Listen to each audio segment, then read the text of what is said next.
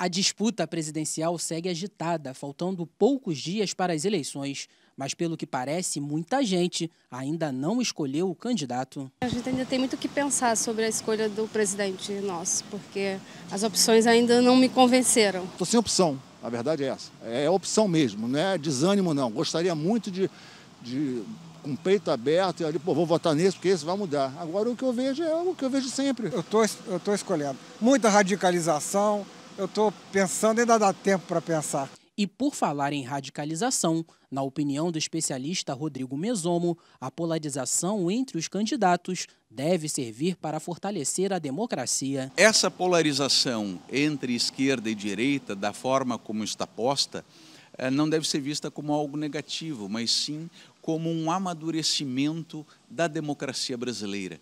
Quanto mais discursos se oferecerem ao eleitor, quanto mais propostas forem apresentadas ao eleitor, mais ele terá opções e mais poderá maturar a sua decisão. O próximo presidente da República vai controlar o destino de mais de 200 milhões de brasileiros, mas de acordo com as últimas pesquisas eleitorais, a decisão deve ocorrer no segundo turno, em 28 de outubro. Em havendo, tudo indica que haverá uma polarização entre Bolsonaro, à direita, e Haddad, à esquerda. Wellington Andrade, para a Rede Vida de Televisão.